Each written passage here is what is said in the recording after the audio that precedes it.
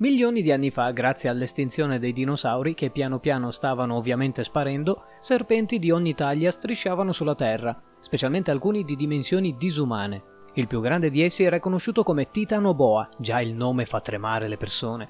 In confronto al boa costrittore che possiamo trovare oggi, il Titanoboa è su un altro livello, molto più spaventoso e molto più grosso. Fortunatamente è estinto, ma se non lo fosse mai stato, Vediamo di scoprirlo. Ovviamente non ne prenderemo uno vero per esaminarlo, col cavolo. Anch'io ho qualche fobia per i serpenti.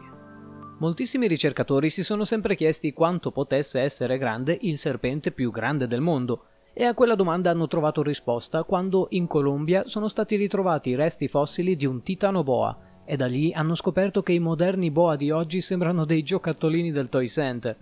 Secondo le datazioni è vissuto circa 60 milioni di anni fa e poteva raggiungere una lunghezza di 15 metri e un peso pari alla tonnellata, ma essendo i resti fossili molto difficili da ritrovare tutti nella stessa zona, potrebbe essere anche più lungo. Sembra potesse mangiare le antiche tartarughe di quel periodo e perfino i coccodrilli giganti chiamati coccodrilomorfi. Grazie alla morte di vari dinosauri, il titanoboa è riuscito a trovare un habitat per svilupparsi, era la prima foresta neotropicale mai vista e si trovava in una zona vicino al centro e al sud dell'America di oggi.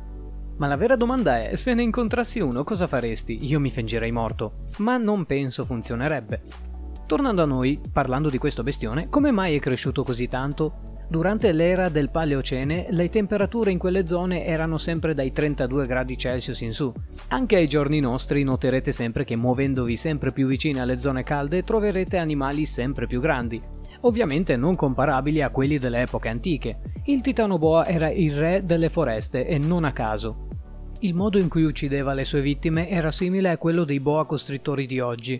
Avvolgeva la sua preda e la stritolava soffocandola ma immaginate una tonnellata di serpente che vi strangola. Non è una bella sensazione, vero? E dopo essere entrati nella sua morsa è impossibile uscirne.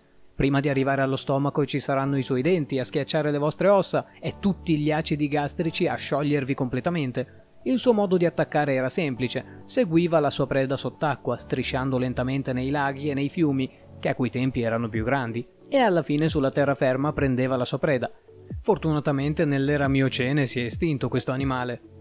Se invece fosse ancora vivo ai nostri tempi, il titanoboa potrebbe sopravvivere soltanto nelle zone calde, quindi nelle foreste equatoriali. Una buona notizia per chi vive invece nelle zone più a nord e sud del pianeta. Se fosse arrivato a sopravvivere anche ai tempi degli indigeni, sicuramente ne avrebbero fatto un dio e dato in pasto degli animali o degli esseri umani ogni anno. Sarebbe sicuramente stato menzionato anche nei testi sacri, Visto che questo animale cacciava per lo più in acqua, l'unico modo che avrebbero avuto i popoli che vivevano vicino all'equatore di sopravvivere sarebbe stato costruire case sopra gli alberi. L'intera storia degli indigeni americani e della conquista di queste terre sarebbe stata diversa.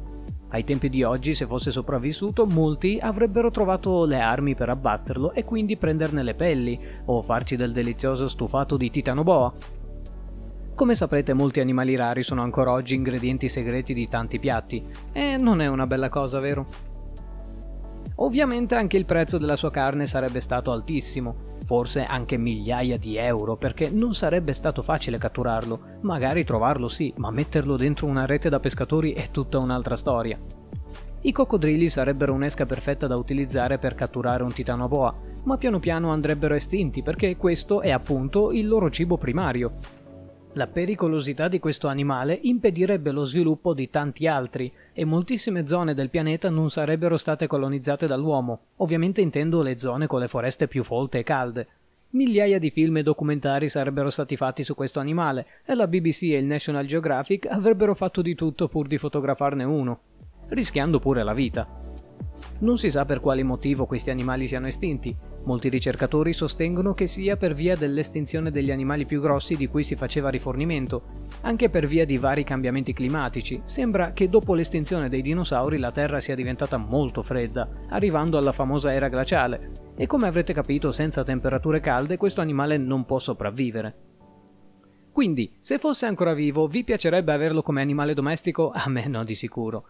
Questo perché dovrei trovare una villona enorme dove tenerlo, visto che i suoi cuccioli sarebbero grandi come un boa costrittore normale di oggi. Fatemi sapere nei commenti se conoscete altri animali enormi estinti, mettete mi piace per aiutarci a crescere e alla prossima gente!